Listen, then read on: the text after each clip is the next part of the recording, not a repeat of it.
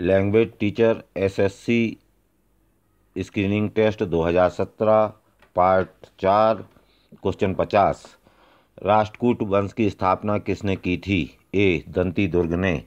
चंदेल वंश की राजधानी कहाँ थी? ए. खजुराहो। तराइन का प्रथम युद्ध कब हुआ था? बी. ग्यारह सौ इक्यानबे ईस्वी में। अपने विरोधियों की समाप्ति के लिए किस शासक ने लोह एवं रक्त की नीति अपनाई थी? बी. बलवन ने। महाराष्ट्र में भक्ति आंदोलन के प्रमुख संत कौन थे? डी. नामदेव। कबीर की शिक्षाएँ किसमें संग्रहित हैं? ए. बीजक में। मेहरुनसा किसका वास्तविक नाम था? बी. नूरजहाँ का। गुरुमुखी लिपि के जनक कौन थे? बी. गुरु अंगद। प्रेम, प्रेस का मुक्तिदाता कौन सा गवर्नर जनरल कहलाता है? C. Sir Charles Metcalfe. Mahatma Gandhi ने साबरमती आश्रम की स्थापना कब की थी? सी 1916 ईस्वी में। साँझ का तारा किसे कहते हैं? डी, शुक्र को। पृथ्वी की मानक समय रेखा किस रेखा को कहा जाता है? ए, ज़ीरो, देशांतर रेखा। गल्फ स्टीम किस महासागर से संबंधित है? सी, अटलांटिक महासागर से। विश्व की सबसे लंबी नदी कौन सी है? ए, नील नदी। सूर्योदय का देश कौन सा देश कहलाता है? B, Japan. लंदन किस नदी के किनारे पर स्थित है? डी. टेम्स नदी के किनारे कर भारत की किस देश के साथ सबसे बड़ी अंतर्राष्ट्रीय सीमा है? डी. बांग्लादेश के साथ।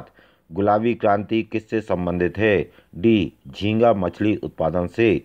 पन्ना मध्य प्रदेश में मुख्यतः कौन सा खनिज मिलता है? सी. हीरा। इरूला जनजाति किस राज्य से संबंधित है? ए. तमिलनाडु। भारत का मैनचेस्टर किसे कहते हैं? सी अहमदाबाद को गेंडा परियोजना भारत वर्ष में किस वर्ष में प्रारंभ की गई थी? उन्नीस सौ सतासी में ग्रीन पीस नामक संगठन का मुख्यालय कहाँ स्थित है? डी एम्स टर्डस गिर राष्ट्रीय उद्यान किस वन्य प्राणी के लिए प्रसिद्ध है? ए एशियाई शेर के लिए। भारतीय संविधान की किस अनुसूची में केंद्र और राज्यों के बीच शक्तियों के बंटवारे के बारे में वर्णन किया गया है? सी सातवीं अनुसूची में। भारतीय संविधान के किस अनुच्छेद के अंतर्गत नागरिकों के लिए एक समान नागरिक संहिता का उल्लेख है? बी, अनुच्छेद चौवालीस में राज्यसभा का पदेन सभापति कौन होता है? बी, उपराष्ट्रपति। निम्नलिखित में से कौन सी संस्था संवैधानिक नहीं है? डी, नीति आयोग। बेटी बचाओ, बेटी पढ़ाओ योजना कब प्रारंभ हुई?